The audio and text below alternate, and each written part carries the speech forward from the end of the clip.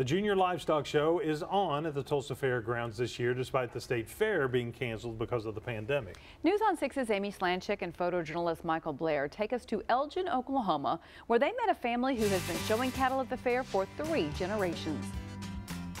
We're out here in Comanche County, about 200 miles from Tulsa. The Glover family will make the trip to the Tulsa State Fair later this week, a tradition that has roots dating back to 1969.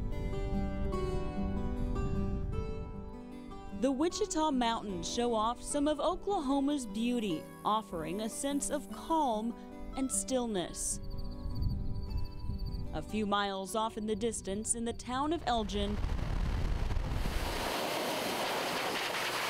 The Glover family is putting in the work to show off their livestock. It is hectic. A lot of preparation, as you can imagine. Most mornings, it's about 5.35 my alarm goes off. 16-year-old Tommy has been competing in livestock shows since he was nine. I come home, I do my homework, and I come out because I've got a job to do, you know.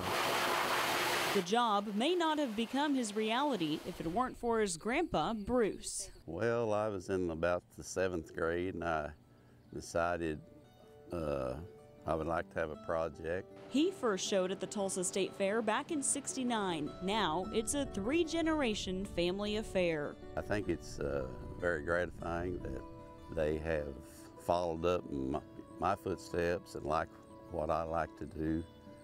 And it's just uh, makes my heart happy. Tommy's mom, Jamie, won the grand champion market steer at the Tulsa State Fair back in 1996. Exactly 20 years later, Tommy took home the same award. I really didn't know it until after the show, but all I was worried about that day was doing as good as I can. I mean, I was trying to win. Now he's working toward another win with a cow named Ruger who gets to chill out in the air conditioning all day.